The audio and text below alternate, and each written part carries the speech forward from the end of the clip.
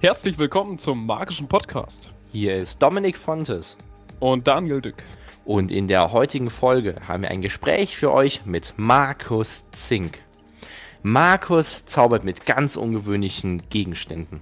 Nämlich mit Schrott. Verrückte Geschichten in einer Stahlkonstruktion, das ist genau sein Ding. Hallo Markus, hast du heute schon eine neue Kreation aus Schrott hergestellt?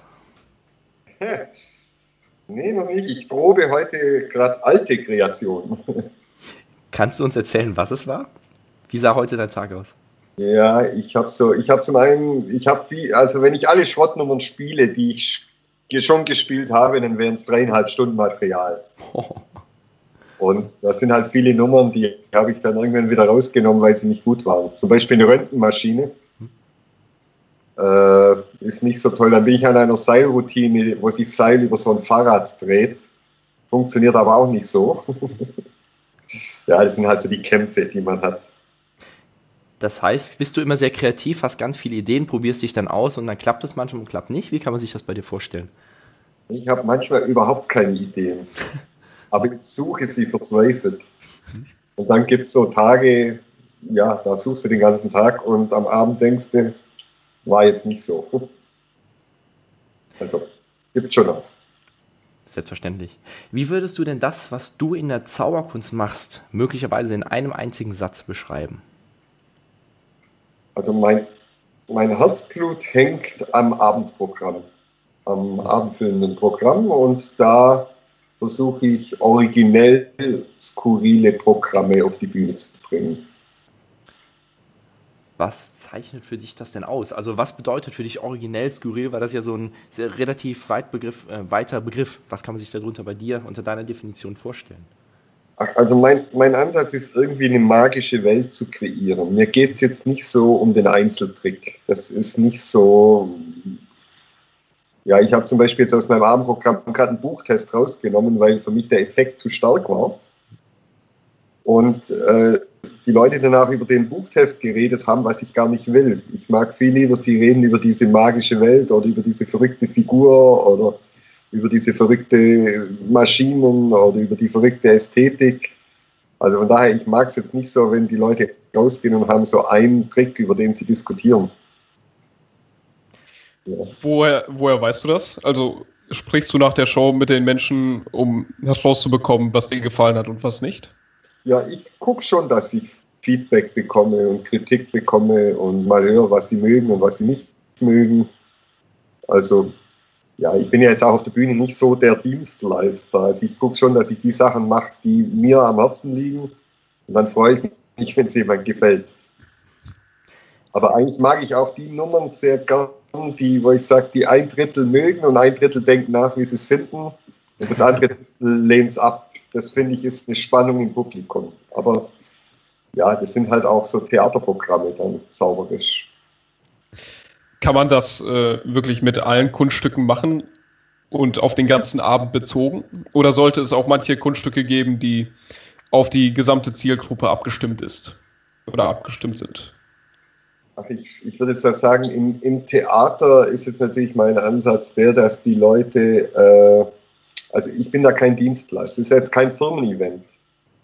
Und die wissen, was vorher kommt. Ja, dann müssen sie sich irgendwie drauf einlassen oder halt auch nicht. Also ich weiß gar nicht, ob jetzt die Zielgruppe im Theater so homogen ist. Also die ist ja eher breiter dann auch. Also und die wollen ja eigentlich auch nicht das Gefällige oder das Langweilige. Also ich finde ich find ja dann Zauberei auch oft sehr langweilig ich jetzt als Zuschauer. Weil du selber Zauberkünstler bist oder warum? Nee, ich finde es sehr oft äh, technisch, nicht emotional. Äh, und ich merke oft, also ich war auch mit Leuten, die sich mit Zauberei nicht auskennen, zum Beispiel bei Tamaris, den ich ja sehr verehre, die fanden den nach zehn Minuten langweilig. Wow, okay. ich dachte, oh hoppla, ich sage, jetzt hat er es gesehen, der kann mit Karten umgehen. Und ja, ich habe dann gemerkt in dem Moment, hoppla, äh, was ich jetzt irgendwie spannend und interessant finde, ist jetzt für den Normalzuschauer nicht wirklich immer spannend und interessant. Und ich kann mich schon fragen, warum zerschneidet man ein Seil, um es wieder ganz zu machen? Warum lässt man mich fehlen, um sie dann wieder rauszufinden? Ist jetzt erstmal alles noch sehr sinnentleert. Versuchst du dann einen Sinn bei deinen Kunststücken zu finden? Auf jeden Fall will ich selber wissen, warum ich es mache. Also das finde ich für mich schon wichtig, was jetzt meine Geschichte ist oder was mein Grund ist, warum ich das jetzt vorführe oder warum das auch in der Position ist im Abend oder also ja, oder will ich ein Bild schaffen, das bleibt oder also ja, ich für mich selber brauche schon einen Grund. Wenn wir jetzt mal so wirklich auf deine Kunststücke eingehen, weil wenn wir haben ja eben gesagt, du zauberst ja viel mit Schrott. Wie kann man sich so ein Kunststück dann wirklich vorstellen, das aber dann auch einen Sinn ergibt, lustig ist, unterhaltsam ist oder eine spezielle Emotion mitbringt? Kannst du da mal irgend so ein Beispiel geben für unsere Zuhörer? Also gut, Schrott ist ja jetzt ein Programm, das ist über, das spiele ich schon seit 18 Jahren und in 18 Jahren ist das immer im Wandel. Und ich finde, es gibt so ein paar Dinge, das ist ja dann irgendwie auch Glück, wenn man mal eine Idee hat oder manchmal ist es ein langer Weg. Äh, ich spiele ja im Grunde genommen die Geschichte meiner Vorfahren durch Skelette dargestellt und zeige im Grunde genommen die alten Kunststücke. Die Schrottidee kam, weil ich die Ästhetik von Alteisen sehr spannend fand. Und bei allen Dingen, die ich mache, ist auch jetzt in, der, in den Apparaten immer das Element Bewegung drin. Also wenn ich einen Fesselstuhl nehme, dann bewegen sich die Räder, der Sand läuft, weil ich wollte nie große Illusionen haben, die irgendwie so tote Kisten sind. Also die, ich mag, wenn das Requisit selber eine Geschichte erzählt. Klar, wenn ich jetzt an einem Requisit Leiterwagenräder habe, dann erzählt das Leiterwagenrad an sich schon eine Geschichte. Äh, und ich mag natürlich, wenn diese Objekte, wenn die in sich eine Ausstrahlung haben oder eine Kraft haben. Also ich mag auch, wenn die ohne mich schön aussehen. Und jetzt, wenn ich zum Beispiel sowas, natürlich gehe ich hin und sage, sowas gibt es denn für Effekte. Klar. Und wenn ich jetzt zum Beispiel die Interlude nehme, dann fand ich den Effekt sehr spannend. Ich wollte aber immer große Illusionen, die ich alleine vorführen kann. Und so entstand letztendlich die Idee, ich schiebe schieb mir ein Ofenrohr durch den Bauch. Und jetzt musste ich mir natürlich noch überlegen, aber das ist dann ja so nachgewirtschaftet auch, äh, wie, wie nenne ich das Ding? Und dann hieß es eben Operationsmaschine zur Darmreinigung. Mhm. Und dann dachte ich mir, hey, es wäre noch schön, wenn da Eisenkugeln durchrollen, vom Bild her durch das Rohr. Und dann hieß es eben Operationsmaschine zur Darmreinigung durch Zugabe von Eisen. Und jetzt ist es eine Operationsmaschine, also das, die aber einer meiner Vorfahren erfunden hat, letztendlich. Und ich zeige die. Also jetzt mal an so einem Beispiel. Ja, und ich gucke natürlich jetzt in Schrott, dass ich Sachen vorführe, die andere nicht vorführen. Das ist auch so ein bisschen meine Präambel dafür. Und ich will auch Sachen vorführen, die einen originellen Dreh haben. Das führt ein Stück weit dazu, dass jetzt ein klassisches Seil zerschneiden, was ich gerne mache, aber es würde nicht in das Programm passen. Hm. Also, klar, es, da machen sich dann andere Probleme auf. Oder ein klassisches Ringspiel würde, würde nicht reinpassen. Also würde ich mal sagen, ein Ringspiel mit Fahrradschläuchen und Kleiderbügel und, und sowas würde wieder eher passen. Du hast eben eine sehr spannende Sache gesagt, dass äh, der Buchtest, der ist für dich zu stark, zu spannend. Ähm, wie sieht das aus? Hattest du diese Einstellung schon immer gehabt? Dass es alles so sozusagen gleichbleibend sein soll? Oder hast du das mit Erfahrung bekommen? Weil meiner Meinung nach ist es in unserer ähm, jetzigen, heutigen Zeit so, dass die meisten Zauberkünstler, vor allem Jüngere in unserem Alter zum Beispiel, immer stärkere Effekte zeigen möchten. Und du gehst ja da gerade zurück. Wie sieht das bei dir aus? Ah ja, das, das, ist bei mir natürlich auch so ein bisschen, bisschen meine, meine Biografie. Ich bin ja ohne magischer Zirkel groß geworden. Und ich bin ja eigentlich groß geworden, so eher mit der, Clown, mit der Clown-Bewegung, so jonglierend, Einradfahrend und Zauberei war ein Element. Und ich wollte ja eigentlich immer Clown werden. äh, und habe dann eigentlich erst später so die, die Qualität von Zauberei entdeckt und habe auch die Sachen irgendwie so alle gelernt, so die Seiltricks und viele Kartentricks und viele Münzsachen. Und trotzdem war für mich sehr schnell irgendwie klar, ich möchte A, Abendprogramme spielen da komme ich her. Das waren auch die ersten Zauberprogramme, die ich gesehen habe, waren Abendprogramme. Ich bin kein so ein Fan von den 10-Minuten-Nummern. Äh, also ich wenn ich jetzt eine Nummer nehme von Norbert Fares, sehe, sehe ich den gerne im, in Varieté, wenn er raus ist aus diesem, er muss jetzt irgendwie acht Minuten, sondern sehe ich Norbert Fares dann zweimal sieben Minuten oder sehe ihn 15 Minuten. Äh, und jetzt zu, zu, den Effekten, also gehöre jetzt auch zu, wie soll ich sagen, ich bin ein Zuschauer, mich interessiert das Geheimnis nicht sonderlich. Also ich gehe jetzt nicht und gucke da irgendwelche, also ich gucke auch so, so Filme an von Tricks oder gucke mir Zauberer an, aber wie jetzt der Trick geht, ist mir eigentlich ziemlich egal. Weil ich weiß, da ist jetzt, natürlich weiß ich viele Tricks auch, aber äh, selbst wenn jetzt ein Trick kommt, wo ich nicht weiß, wie er geht, denke ich, oh cool. Mich interessiert eher die Geschichte und ist er gut präsentiert und ist es unterhaltsam. Ich bin jetzt kein so ein, wie soll ich sagen, so ein Effektzauberer. Weil das finde ich auch oft im Widerspruch zum Staunen, komischerweise. Also wenn ein Effekt so stark ist, dass der Zuschauer fragt, wie das geht, mhm. dann, ist, dann ist es ja ein rätselnder Zuschauer.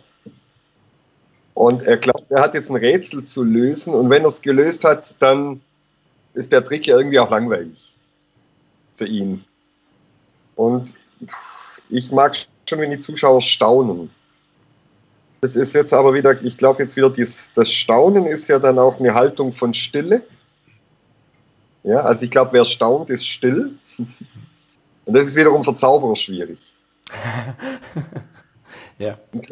Natürlich, natürlich will man das, wenn man irgendein gutes Kunststück gemacht hat, dass die Leute nach applaudieren und schreien und lachen. aber ich glaube, manchmal wäre der Moment, dass jetzt der Zuschauer hier ja kurz verweilen kann mit dem Moment, äh, viel schöner. Mhm.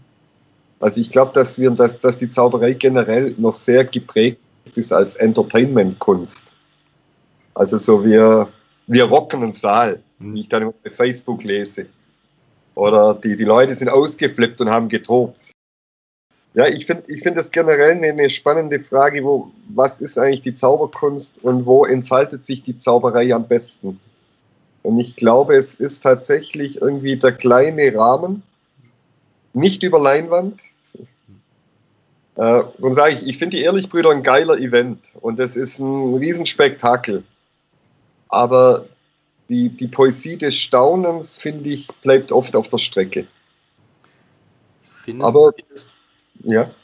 Findest du, dass es nur eins von beidem geben sollte oder ist der Mix von beidem gut, dass es sowohl ähm, Kleinkunst in Anführungszeichen gibt, also wirklich, wo man richtig staunen kann und auf der anderen Seite auch so wie zum Beispiel bei den Ehrlich Brothers, was du jetzt erwähnt hattest, oder sollte es deiner Meinung nach eher nur Kleines geben? Nein, wegen, wegen mir kann es alles geben. Die Frage war ja nur, was mir gefällt oder was mir genau, liegt. Genau.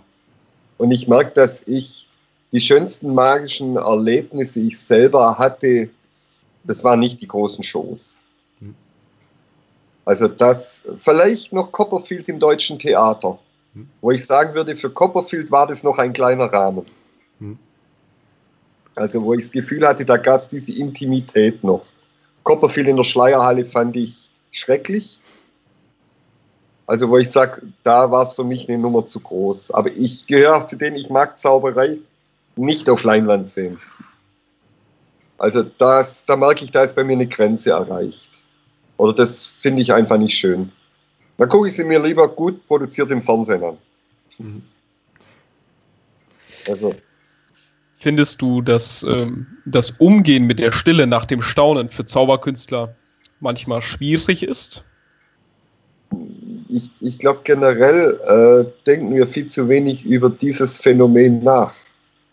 Dass wir eigentlich mit dem Zauberkunststück äh, Staunen erzeugen und jetzt stellt sich die Frage, denken wir darüber nach, wie viel Zeit braucht eigentlich auch ein Zuschauer, um Dinge zu verarbeiten. Also manchmal gibt es ja Programme, die, da sind zehn starke Effekte drin und ein starker Effekt löst den anderen ab. Und zum Schluss gehe ich raus und sage, hey, der hat echt Hammer-Sachen gemacht. Aber so wirklich bei einem verweilen tue ich gar nicht mehr. Aber ich, ja, ich glaube einfach, diese Diskussion wird ein Stück weit zu wenig geführt die Leute sagen immer relativ simpel, hey, lass uns starke Effekte machen. Das klingt ja auch erstmal richtig. Aber ich, ja, natürlich ist die Frage auch, was ist ein starker Effekt? Ist jetzt Münze in Flasche stärker wie ein Schwammballtrick. Ansichtssache, also, ja. Ja, da, ja, aber da würden viele sagen, ja, Münze in Flasche, das ist ein Hammerwunder. Aber ich habe ich hab Leute erlebt, die haben die Hand aufgemacht, da waren zwei Schwammbälle drin. Und ich wusste, diesen Moment werden sie nie wieder vergessen. Also das ja, kommt ja dann auch immer so auf den Moment an, oder ja, wo man den spielt oder macht. Also ja. Findest du, dass die Zauberkunst sich auch immer neu erfinden muss und dass man immer etwas Neues bringen muss, genauso wie du jetzt ähm, mit deiner Schrottzauberkunst etwas Neues kreierst? Also was mich tatsächlich sehr beschäftigt, ist, dass ich finde, dass Zirkus, glaube ich, hat sich ein Stück weit erneuert.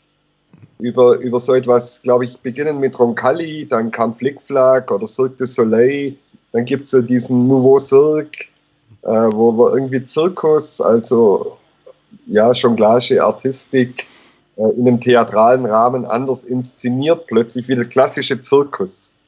Und ich finde, in der Zauberei steht diese Erneuerung noch ein bisschen aus. Ich finde, es gibt dann immer so Impulse, wenn ich jetzt so eine Nummer nehme wie Jan Frisch. Oder äh, ich glaube, es gibt jetzt auch so ein paar Abendprogramme, wo ich merke, hey, das ist eigentlich ein Impuls oder eine Richtung, die ich mag. Aber ich glaube, viel Zauberei ist noch sehr traditionell. Also finde ich zum Beispiel auch in Ida Oberstein. Finde ich immer spannend, wenn dann junge Leute auf der Bühne stehen und zeigen ein Seil zerschneiden wie vor 50 Jahren. Dann denke ich mir, hey, schade eigentlich, weil das ist mir jetzt zu konservativ oder zu traditionell oder manchmal auch zu mutlos.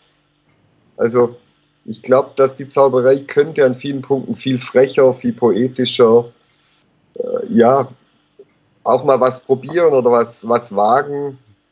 Und das ist halt, wenn du bei einem Zauberkongress, glaube ich, irgendwie was wagst oder eine, eine, mutige Nummer machst, dann fragen die Zauber gleich, geht das? Ist das noch in Ordnung? Ist das noch Zauberei? Und ja, ich finde zum Beispiel die fertigen Finger jetzt in Saarbrücken, die, ich fand, ich habe die fertigen Finger schon viel besser gesehen. Aber sie, ich finde, sie haben an bestimmten Punkten, so mit dem Sigmund Freud und Puppenspiel, haben sie was Neues reingebracht und was Neues ausprobiert.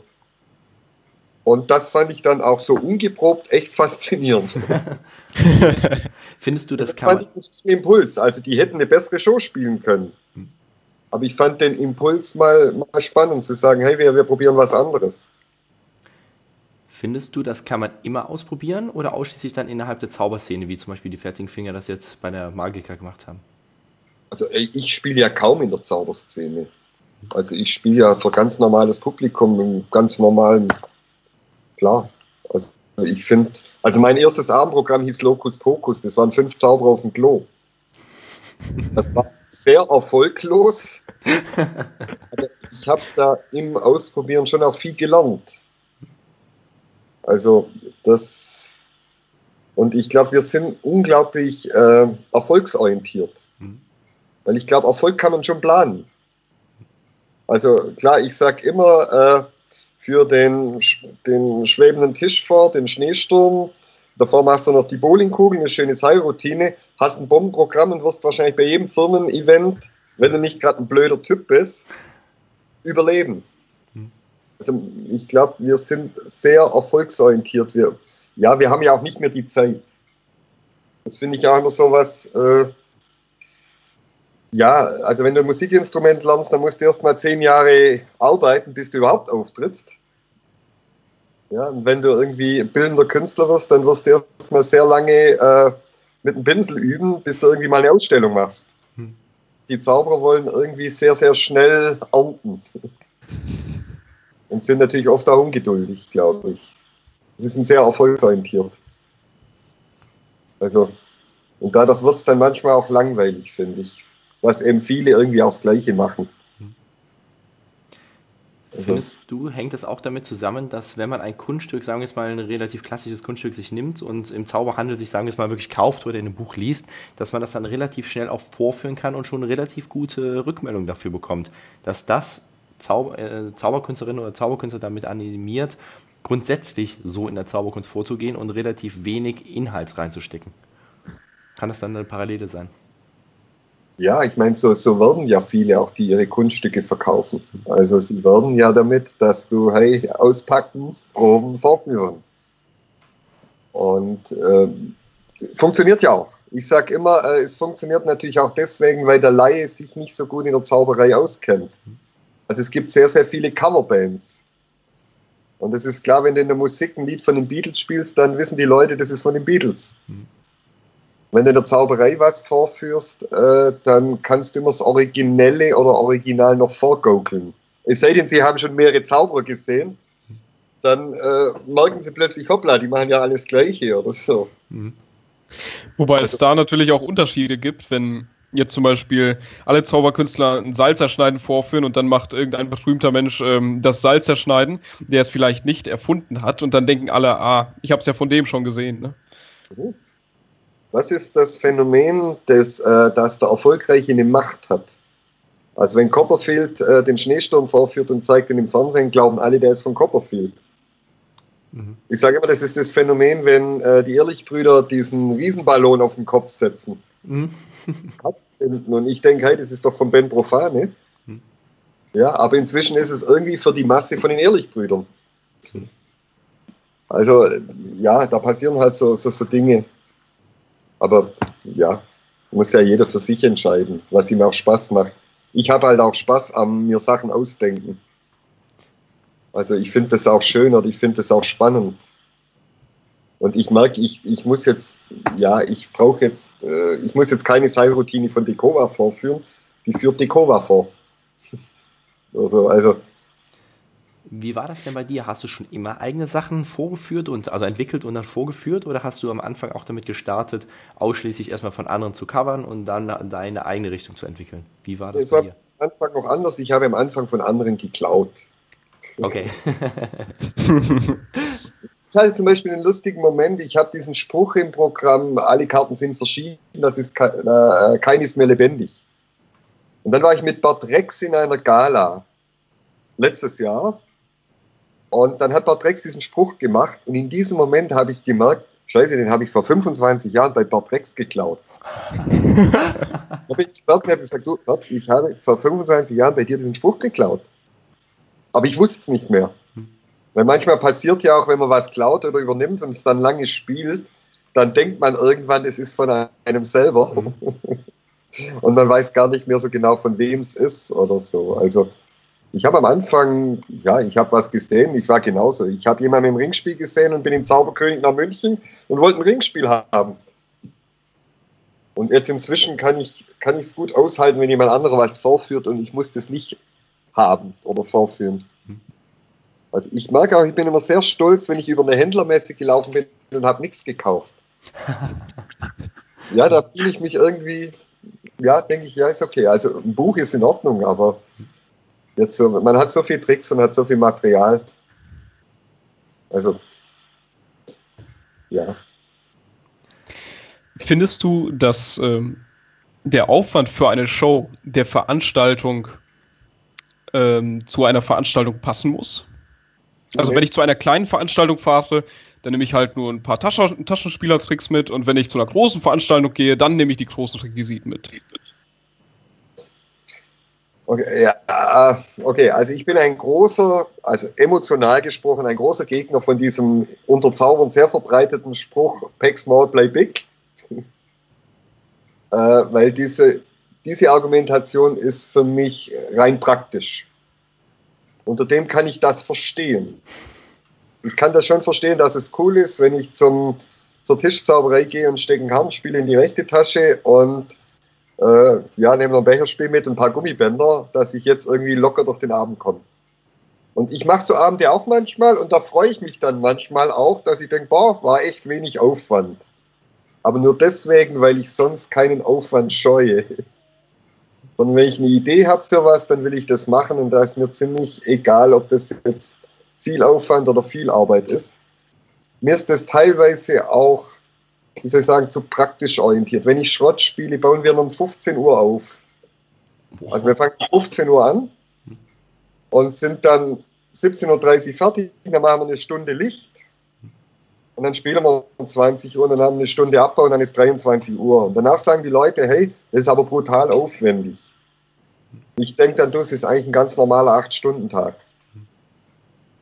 also natürlich sind wir Zauberer manchmal auch ein bisschen verwöhnt. So, ankommen, Headset rum, ja, Schwammbälle in die Tasche, raus auf die Bühne.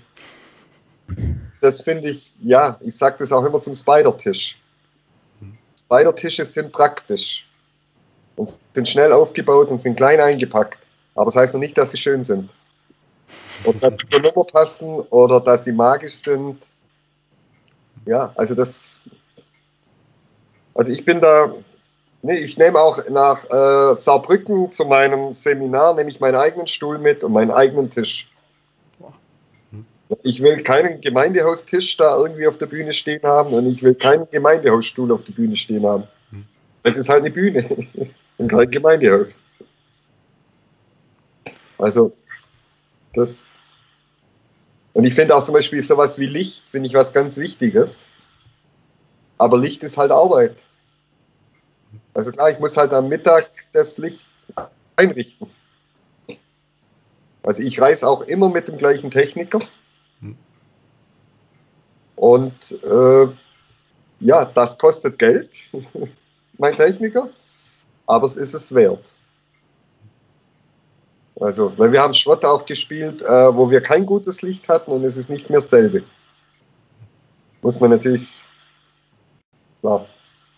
Von daher, ich finde nicht, dass die Sachen im Verhältnis stehen müssen, sondern ich finde, dass wir irgendwie eine Idee brauchen für das, was wir machen und dafür arbeiten wir.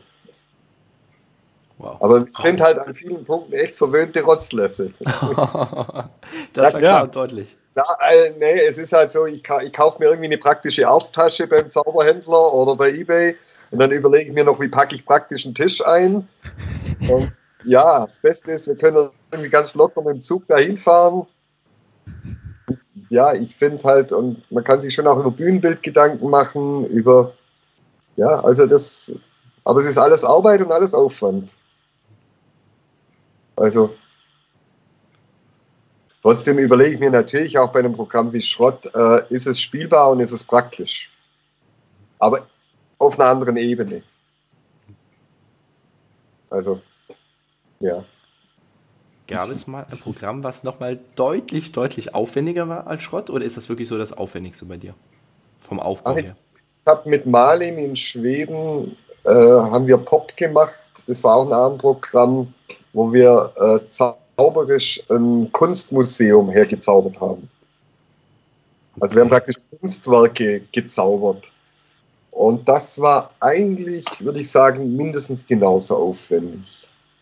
Und ich war jetzt in Halle, haben wir so eine Theaterproduktion gemacht, äh, also zu dritt, wo wir ein Buch zauberisch textlich umgesetzt haben. Das war vom Material her nicht so aufwendig, aber vom Licht und vom Ton war das wesentlich aufwendiger. Hm.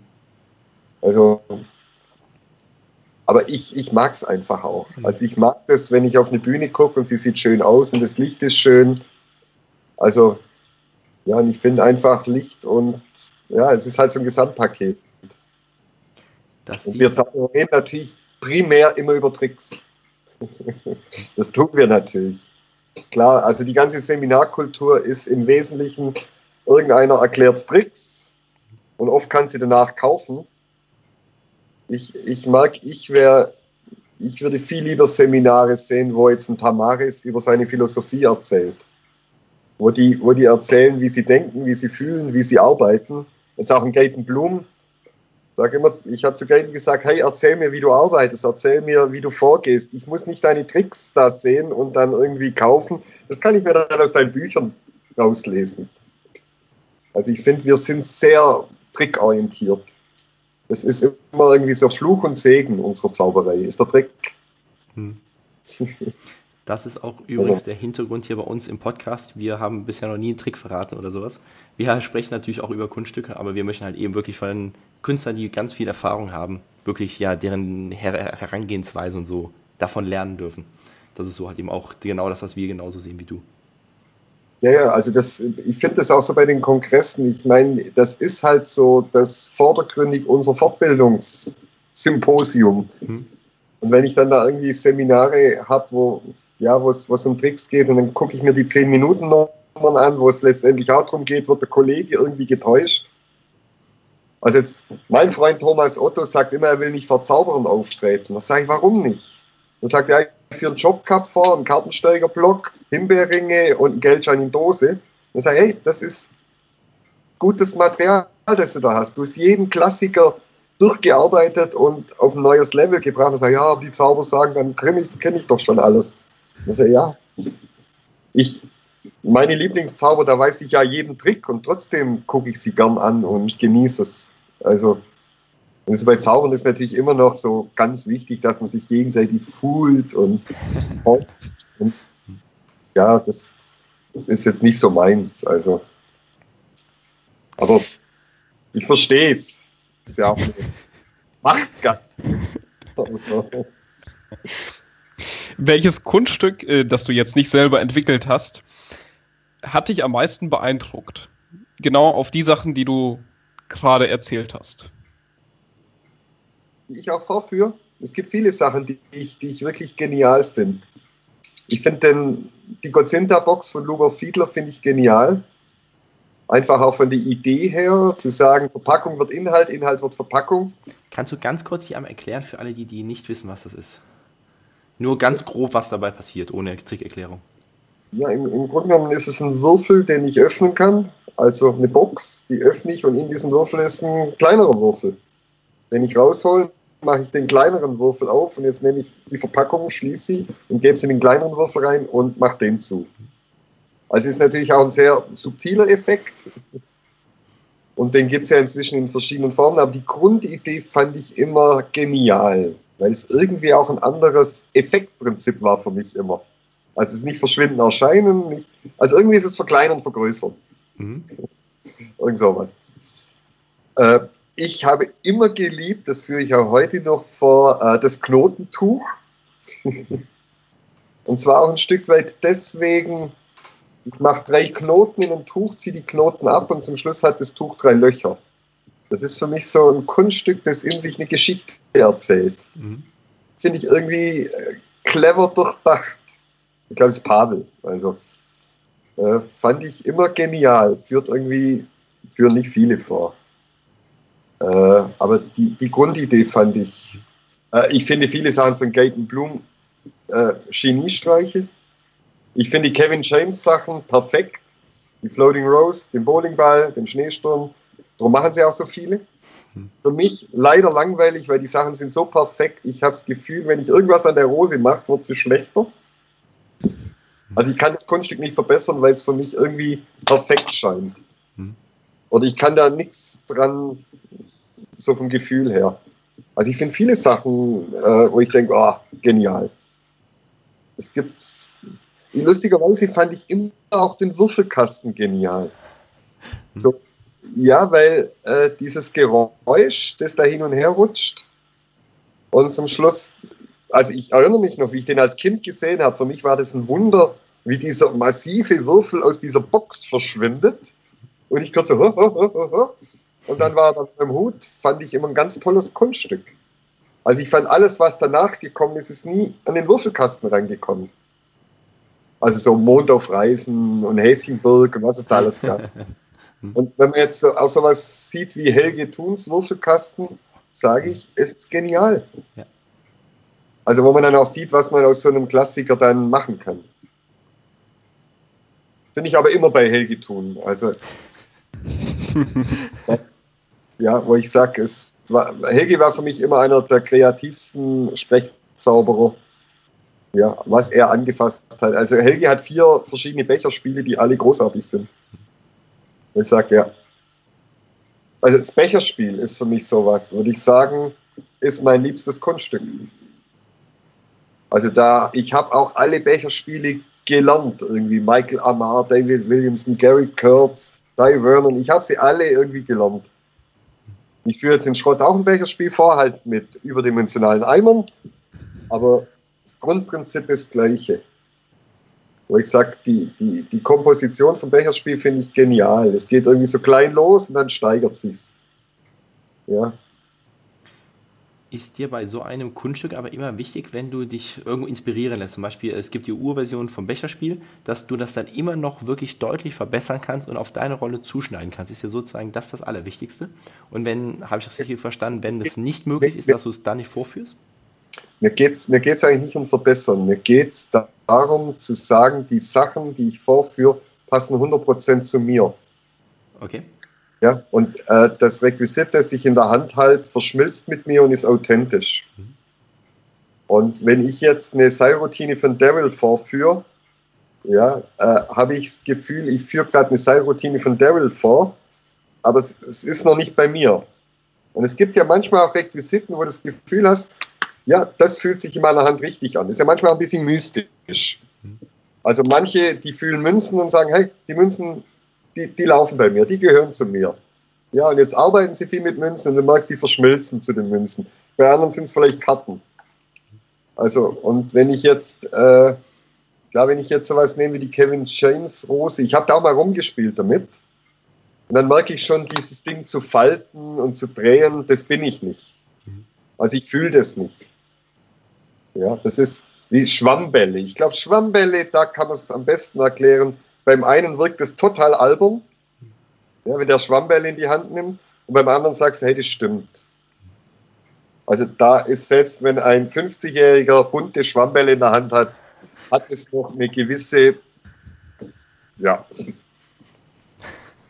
Von daher, mir geht es gar nicht so sehr um, um Verbessern, sondern zu sagen, ich, ich will, dass es zu mir passt und dass es mit mir verwächst. Mhm.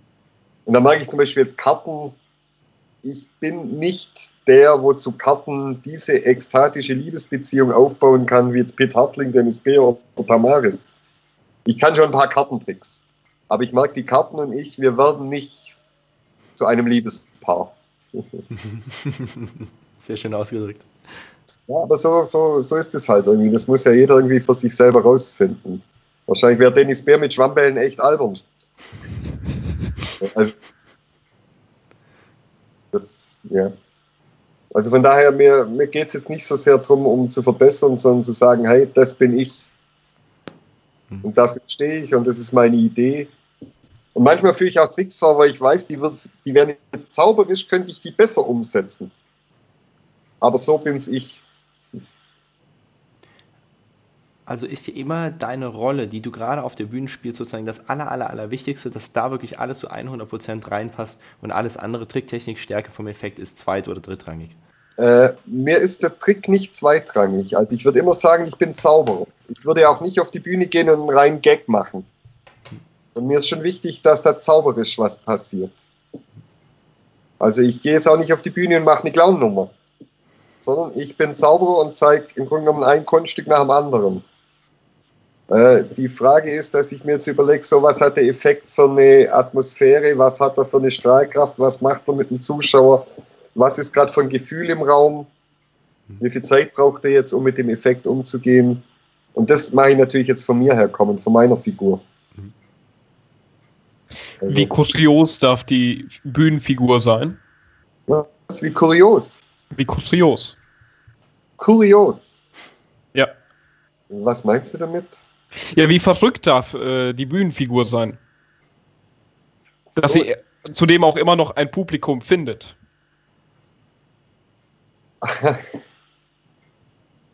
ja gut, ich meine jetzt, äh, jetzt, das ist ja eine berechnende Frage gerade. Also das ist ja die Frage, ich kreiere eine Bühnenfigur, äh, findet die ein Publikum?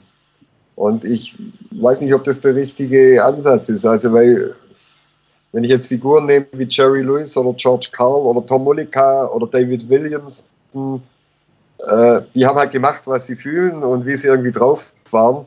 Und ja, und die Leute haben es gemocht. Also ich bin jetzt auch nicht so einer, der irgendwie äh, den Erfolg auf dem äh, plant. Das mache ich nicht.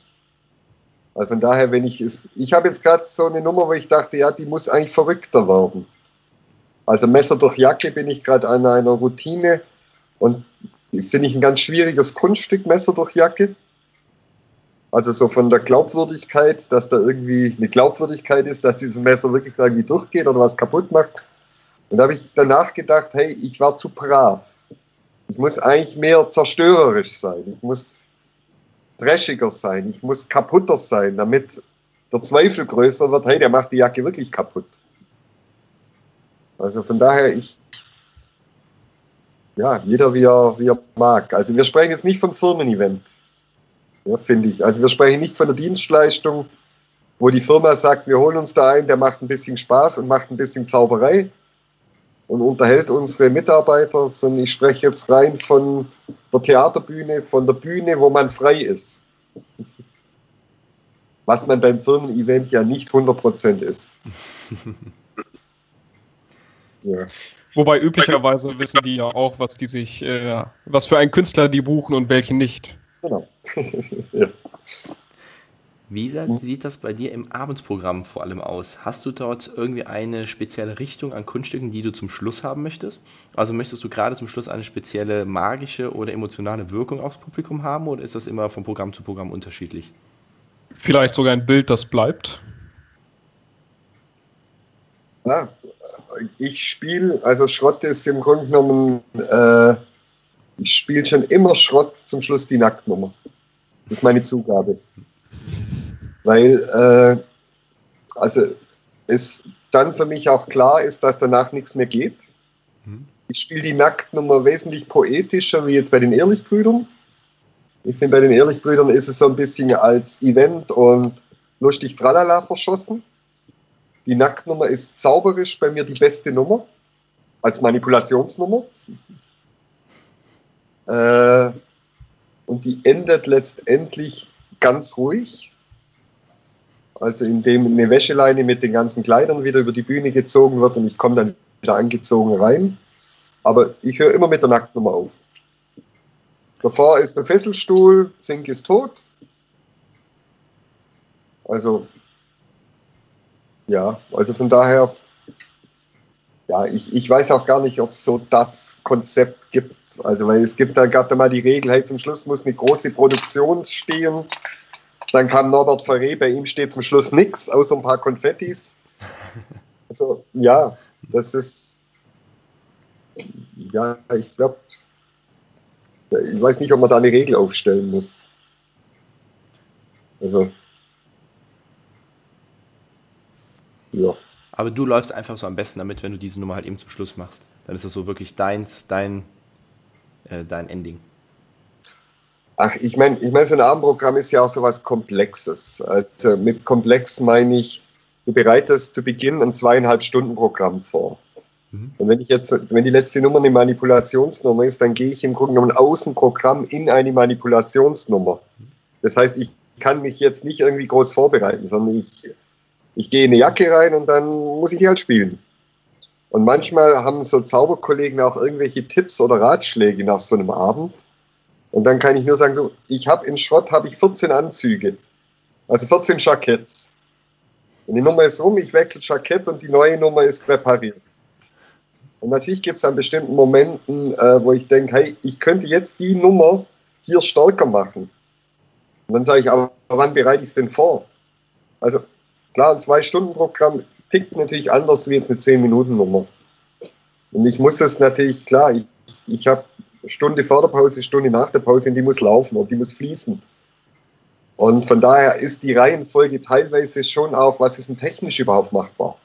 Ja, dann sind da irgendwie drei Shells drin und ja, dann mache ich da die Aquariumnummer, da ziehe ich mich oben aus, dann muss ich mich wieder schnell anziehen. Also das ist ja so ein ganz komplexes Geflecht, so ein Abendprogramm.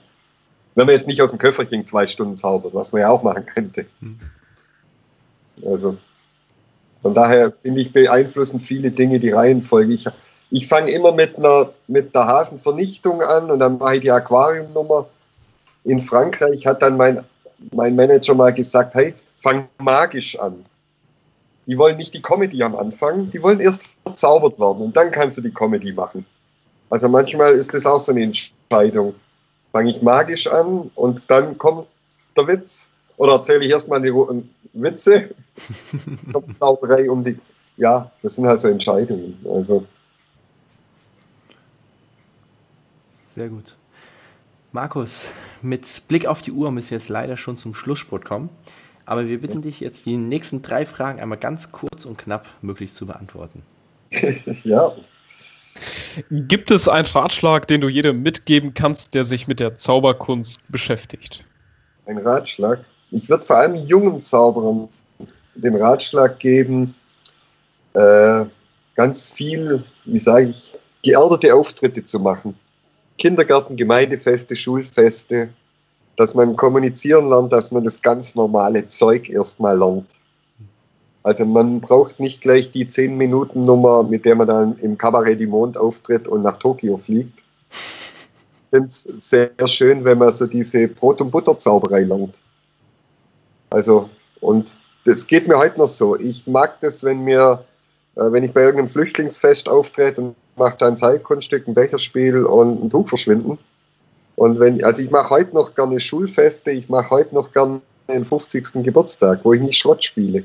Wo ich das Gefühl habe, hey, ja, das ist Brot und Butter, das ist, wir kommunizieren ganz normal miteinander, wir begegnen uns und wir haben gemeinsam irgendwie Freude an der Zauberei. Das würde ich vor allem Jungen empfehlen, dass sie einfach nicht gleich irgendwie die großen Gagen und nicht gleich das, ja, zaubert Flüchtlingsfeste und Kirchenfeste und das ganz normale Zeug. Schulfeste, weil das gar nicht so einfach ist. Also muss man ganz klar sagen, die, das Kommunizieren und Zuschauer anzusprechen, ist ja was Schwieriges. Kannst du ein Buch, ein Kunststück oder eine Webseite besonders empfehlen? Ja, ich kann, also meine Lieblingsbücher, ich habe immer zwei Schienen. Ich sage, es gibt so diese Bastel-Inspirationsbücher, das ist so James Otts, den ich in Deutschland total unterschätzt finde. Französischer Buchautor, der wunderbare Bücher macht. Ich finde Gaten Bloom, das sind ja so die, die Bastler und Tüftler. Und dann finde ich, gibt es so diese, diese technische Seite. Und Tommy Wonder, also diese technischen Bücher, so Coin Magic oder die ganzen Kartenbücher. Und Tommy Wonder ist irgendwo dazwischen. Sag ich immer. Ja. Sehr schön. Und gibt es etwas, was du den Hörern noch zum Schluss mitgeben möchtest? Du hast das Schlusswort. ist alles gut. alles prima. Nee, ich, ja, macht, was euch gut tut. Super. Dann vielen, vielen Dank, dass du mit dabei warst. Und alles ja. Danke, Markus. Schöne Idee. Bis irgendwann irgendwo. Genauso machen wir es. Also nicht wieder Oberstein. Tschüss, Markus. Tschüss. Mach's gut. Ciao. Ja, ciao, danke.